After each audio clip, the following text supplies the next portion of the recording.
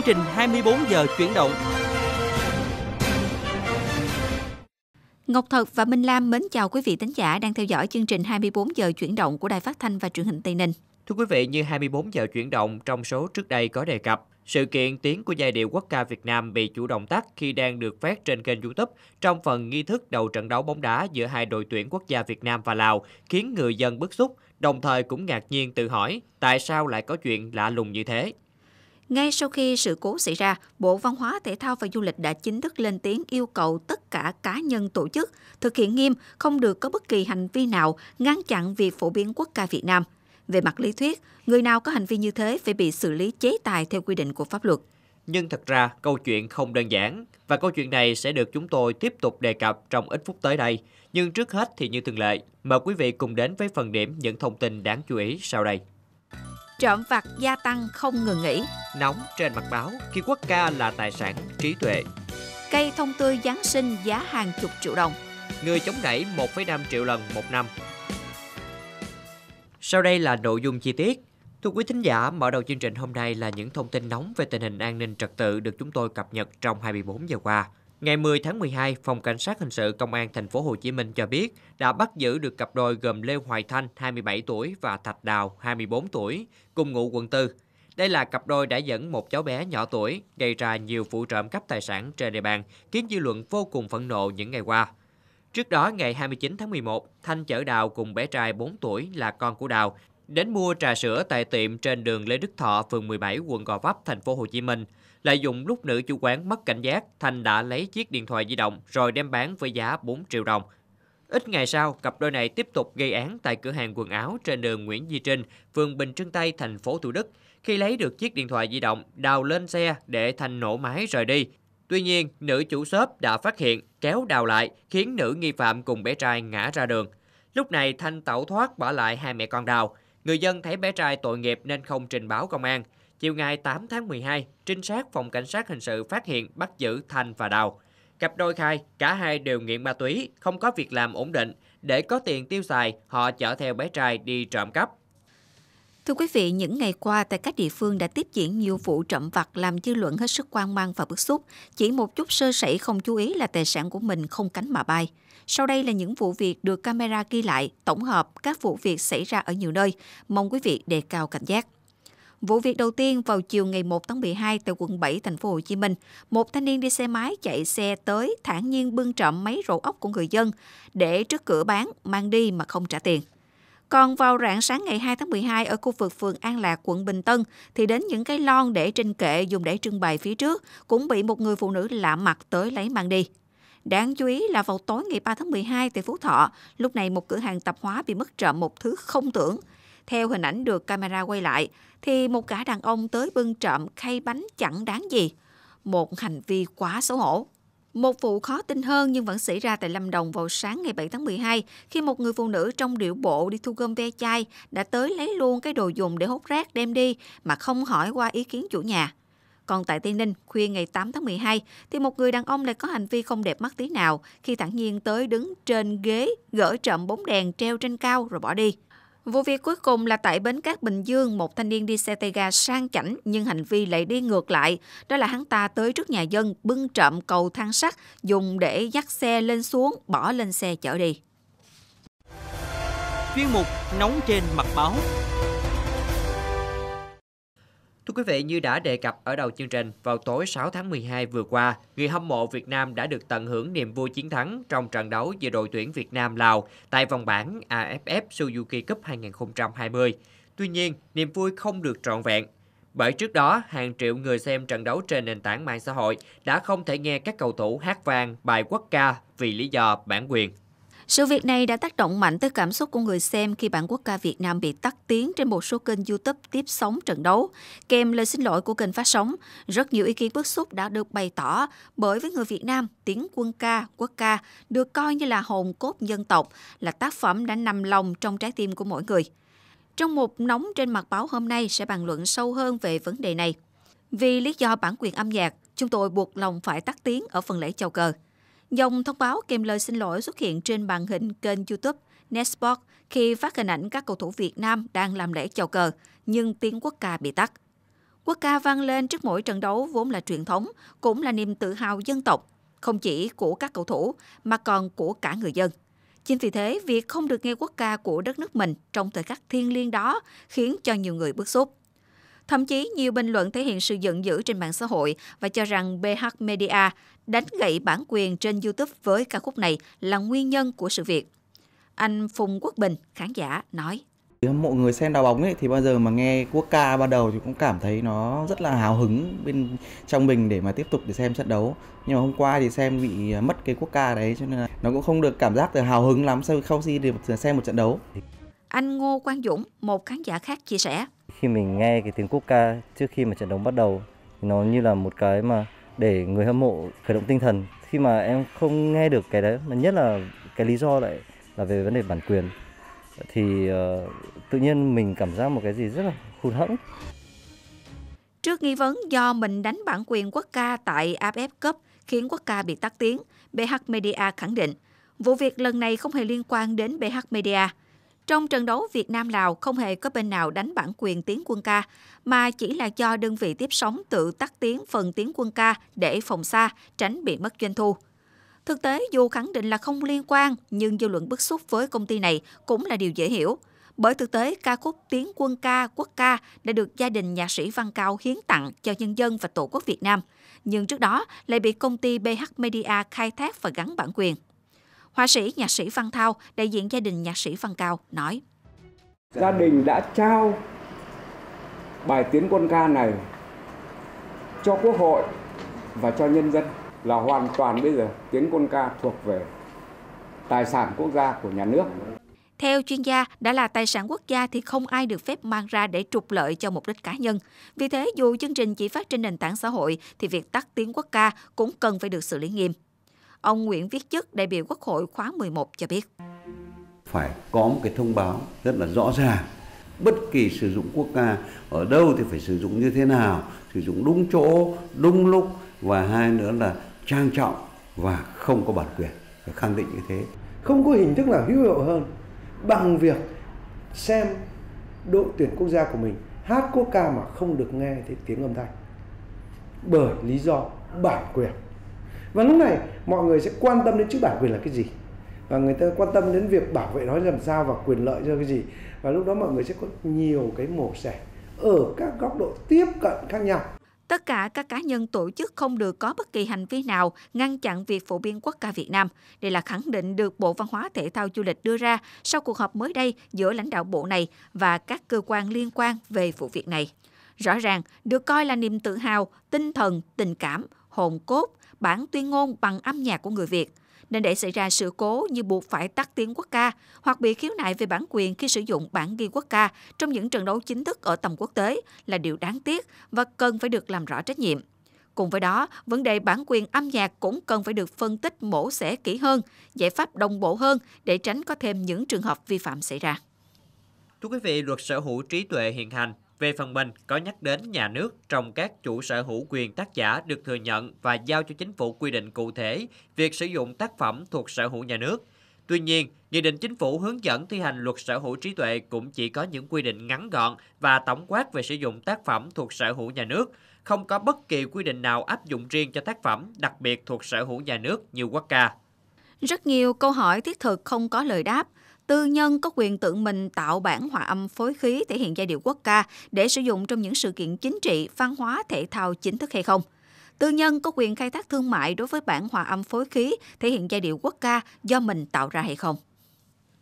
Sự cố tắt tiếng giai điệu quốc ca trên kênh YouTube vừa qua cho thấy khung pháp lý liên quan đến những loại tài sản trí tuệ, đặc biệt thuộc công sản, trong đó có quốc ca, đang có những khiếm khuyết, cần nghiêm túc ra soát và có biện pháp thích hợp để sửa chữa những khiếm khuyết ấy tránh những chuyện tương tự đáng tiếc có thể xảy ra sau này.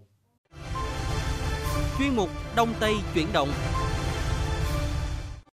Chương trình xin được tiếp tục với những thông tin về đời sống xã hội dân sinh đáng chú ý. Thưa quý vị, sau gần 2 năm đóng băng do dịch COVID-19, thành phố đảo Phú Quốc, tỉnh Kiên Giang đã thí điểm đón khách quốc tế trở lại từ ngày 20 tháng 11.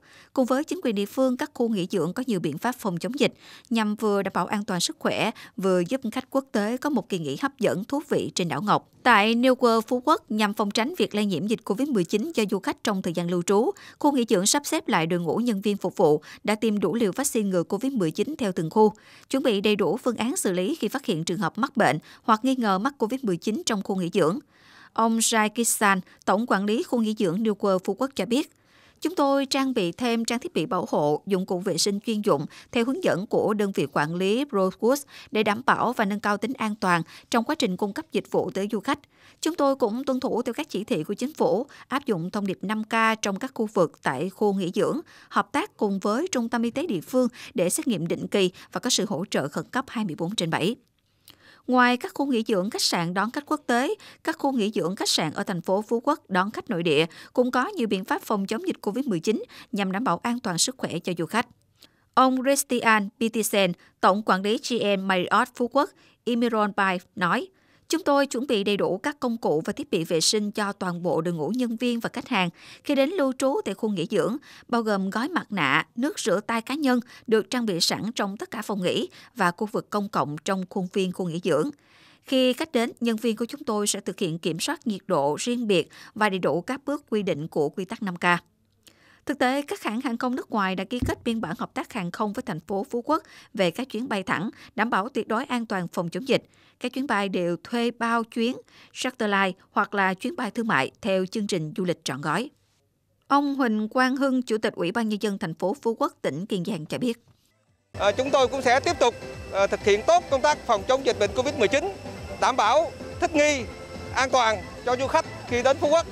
Và đặc biệt ờ, chúng tôi cũng mong rằng trong thời gian tới ờ, sự phát triển của ngành du lịch của Việt Nam cũng như của thành phố Phú Quốc, của tỉnh Kiên Giang tiếp tục có cái sự phát triển và đảm bảo được an toàn.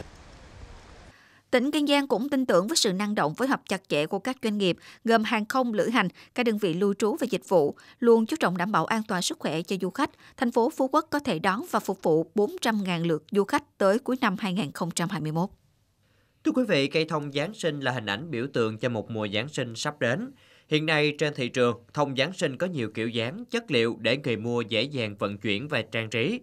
Nhưng có lẽ đắt nhất và được săn lùng nhiều nhất đó chính là cây thông tươi được nhập khẩu từ châu Âu về có giá lên đến hàng chục triệu đồng. Mời quý vị cùng tìm hiểu vì sao cây thông Giáng sinh có giá đắt đỏ như vậy. Những cây thông tươi được chủ cửa hàng nhập khẩu từ châu Âu về tận thành phố Hồ Chí Minh nhân dịp Noel – Giá bán dao động từ 5 đến 25 triệu đồng một cây, tùy thuộc vào dáng tán cây, độ lớn nhỏ khác nhau. Mỗi cây có chiều cao từ 1 đến 4 mét, tán dày và có mùi thơm đặc trưng của cây thông và sức sống từ 6 đến 8 tuần. Việc lựa chọn cây thông nó cũng mang ý nghĩa tương tự như lựa mai, đào chân Tết cổ truyền, dáng cây và tán cây đẹp với ngụ ý nhiều may mắn cho năm mới. Nhiều khách hàng lựa chọn thông thật là do thân thiện với môi trường và đậm chất Giáng sinh hơn so với cây thông giả. Nhìn chung, sức mua năm nay giảm không nhiều. Đây có thể nói là tín hiệu đáng mừng cho thị trường phụ kiện trang trí. Đa số những cây thông được nhập về tiệm đều đã được khách hàng đặt trước. Tiếp tục chương trình 24 giờ chuyển động ngày hôm nay, Ngọc Thật xin mời quý vị cùng đến vườn quốc gia Tràm Chim ở huyện Tam Nông, tỉnh Đồng Tháp để trải nghiệm tour ngồi xuồng mái du hí vòng quanh khu Ramsar thứ 2.000 của thế giới. Ngoài việc được tha hồ ngắm chim cò bay lượn trên những rặng tràm xanh ngút ngàn, du khách còn vô cùng bất ngờ khi xem cảnh dở chà bắt chuột đồng. Với những du khách thích làm nông dân sẽ được hướng dẫn tham gia cùng với các nông dân ở vườn quốc gia Tràm Chim ra đồng giăng câu thả lưới, bắt cá rất thích thú.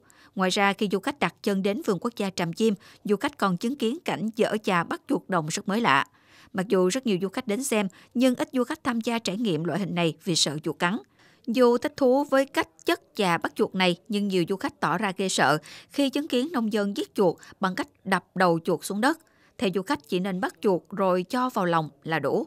Cảnh giết chuột hãy để cho bộ phận bếp thực hiện. Khi nhắc đến chuyện bếp nút, du khách đến vườn quốc gia Tràm Chim ấn tượng với nhiều món ngon rạc đồng như cá lóc nướng lá sen, gỏi tép bông điên điển, cá rô kho tộ, lương đồng nấu canh chua. Món nào cũng ngon vì các loại cá ở đây lúc nào cũng tươi ngon. Thưa quý thính giả, như một món quà từ biển dành tặng cho người dân ven biển Long Hải, Bà Rịa, Vũng Tàu, bẻm xanh hiện đang vào mùa, bám đầy các tảng đá.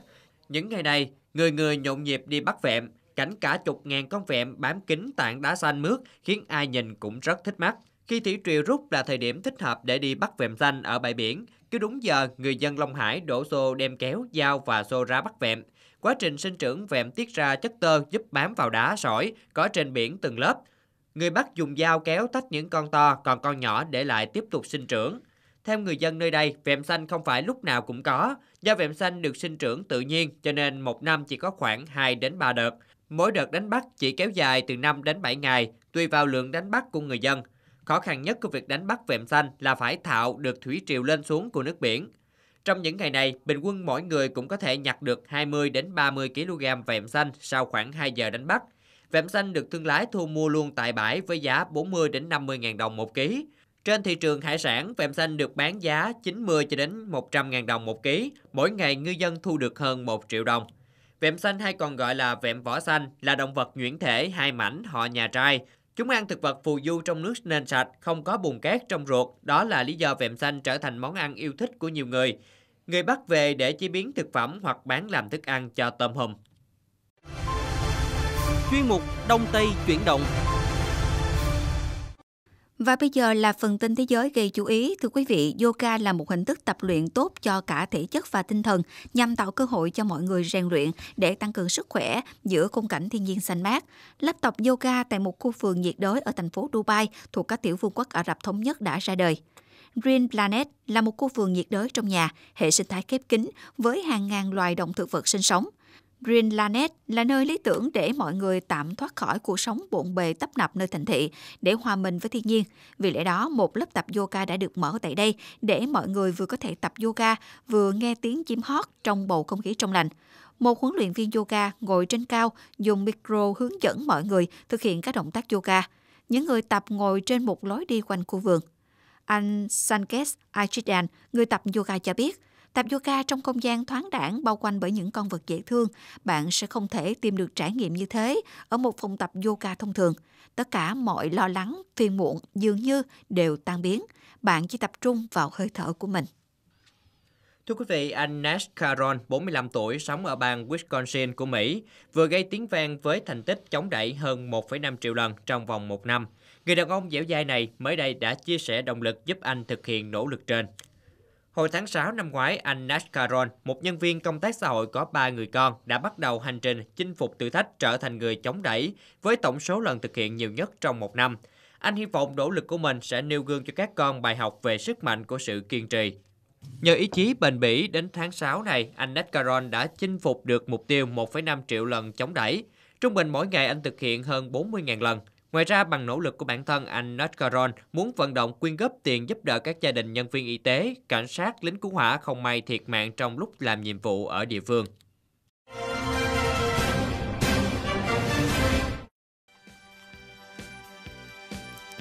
Liên tục chương trình Cà phê không đường, làm gì để nông dân bớt lệ thuộc? Hy hữu ngôi nhà thường xuyên bị trộm ghé thăm. Chuyện ngày mới về xứ Quảng trải nghiệm hành trình săn lọc đất. Chuyên mục Cà phê không đường. Thưa quý vị và các bạn, so với cùng kỳ năm trước, giá phân bón vật tư nông nghiệp đang tăng chóng mặt, khiến nông dân gặp khó khăn. Một bao phân năm trước chỉ vài trăm ngàn, giờ đã vượt qua mốc 1 triệu đồng. Vụ mùa mới thắng thua chưa biết, nhưng với chi phí đầu vào tăng vọt, thị trường đang làm thủng túi tiền của người làm nông. Gánh nặng đầu vào sản xuất đang đè nặng lên vai nông dân. Trụ đỡ nền kinh tế nông nghiệp vừa lóe sáng trước bối cảnh nhiều ngành kinh tế lao đao vì đại dịch Covid-19, nay đang rất trông trên nông dân mỏi mệt. Hiện trạng ngành cho thấy sản xuất phân bón nước ta phụ thuộc nguồn nguyên liệu nhập khẩu, phần lớn từ Trung Quốc. Câu hỏi tiếp tục được đặt ra, phải làm gì để nông dân bớt lệ thuộc? Mời quý vị cùng chuyên mục Cà phê không đường đi tìm lời giải đáp cho câu hỏi này. Theo tính toán, chi phí phân bón chiếm khoảng 22% giá thành sản xuất lúa. Giá phân tăng không chỉ tạo thêm gánh nặng giá thành sản xuất nông nghiệp, mà còn xuất hiện tình trạng gian lận thương mại, làm giả phân bón, gây nhiều hệ lụy mà nông dân phải gánh chịu trước tiên. Theo thống kê của ngành nông nghiệp, cả nước có 841 nhà máy sản xuất phân bón với công suất gần 30 triệu tấn một năm, gấp 3 lần so với nhu cầu tiêu thụ. Nhưng tại sao giá phân vẫn tăng? Có phải do khan hiếm nguồn cung? Bà Phạm Thị Hoạt, xã Xuân Minh, huyện Thọ Xuân, tỉnh Thanh Hóa nói. Phân bón của Việt Nam thì giá nó là cao hơn, thị trường là cao hơn giá phân của Trung Quốc, thế cho nên là bà con là à, lại cũng không biết gì cả, cứ lấy rồi lấy phân của Trung Quốc rồi bà con là cứ ra thấy xấu là tương vào cho nó tốt. Hiện trạng ngành cho thấy sản xuất phân bón nước ta phụ thuộc nguồn nguyên liệu nhập khẩu, phần lớn từ Trung Quốc. Các doanh nghiệp sản xuất phân bón lý giải, khi giá nguyên liệu nhập khẩu tăng, giá phân bón trong nước khó cưỡng lại. Phân bón là mặt hàng thuộc diện bình ổn giá, nhưng việc bình ổn sẽ rất khó khăn khi nguyên nhân tăng giá được cho là do nguồn nguyên liệu nhập khẩu tăng. Trong khi đó, bên dưới các doanh nghiệp sản xuất phân bón là hệ thống các đại lý vật tư nông nghiệp khắp thành thị đến nông thôn. Các chủ đại lý vừa bán phân, thuốc, vừa kiêm vai trò tư vấn tiêu dùng cho nông dân. Thường thì họ ưu tiên giới thiệu các nhãn hàng có chiết khấu hoa hồng cao. Hệ thống đại lý vật tư nông nghiệp ở nông thôn còn kim luôn tín dụng không chính thức, theo cách cho nông dân mua trước trả sau. Nông dân ngày càng lệ thuộc vào hệ thống này. Ông Lê Văn Quốc Việt, Phó Tổng Giám đốc Công ty Phân bón và Hóa chất dầu khí BVFCO cho biết. Thuế đầu vào đó thì bắt buộc các doanh nghiệp phải hạch toán vào cái chi phí sản xuất của đơn vị và dẫn đến cái giá bán dẫn đến cái giá thành tăng lên nó từ khoảng từ 5 đến 8 phần trăm và nó dẫn đến hai trạng thái một là để duy trì sản xuất thì bắt buộc phải tăng giá bán và người nông dân phải chịu cái cái cái ờ, mua cái mặt hàng phân bón với cái giá cao. Câu chuyện giá phân bón tăng bất thường không phải mới, từng lặp đi lặp lại nhiều lần gây bức xúc. Phân bón là mặt hàng bình ổn giá, cần thiết phải bảo đảm cơ chế quản lý giá, được điều tiết theo cơ chế thị trường và định hướng yêu cầu của luật giá. Nhưng quan trọng hơn vẫn là yêu cầu tiếp cận tổng thể, các nhóm giải pháp căn cơ toàn diện, giải quyết phần gốc là ngành sản xuất phân bón, tổng cung và nhu cầu sử dụng, tổng cầu phân bón. Bên cạnh biện pháp hành chính, cần giải bài toán thị trường bằng giải pháp công nghệ hỗ trợ chuyển đổi sản xuất theo mô hình mới và giải bài toán chi phí và lợi sản xuất nông nghiệp. Ông Phùng Hà, Phó Chủ tịch Hiệp hội Phân bón Việt Nam cho biết.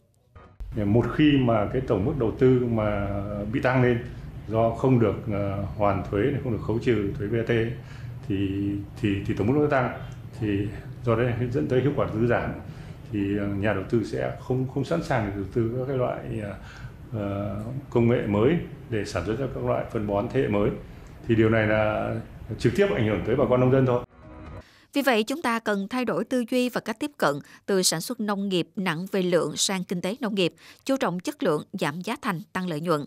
Các phương thức sản xuất nông nghiệp với các mô hình kinh tế tuần hoàn, sản xuất sạch hơn, 3 giảm 3 tăng, 5 giảm một phải, sản xuất hữu cơ không phải bây giờ mới đặt ra, nhưng càng được đẩy mạnh để thực sự thay thế và xóa bỏ tình trạng lạm dụng phân bón, ít lệ thuộc vào vật tư nông nghiệp hóa học.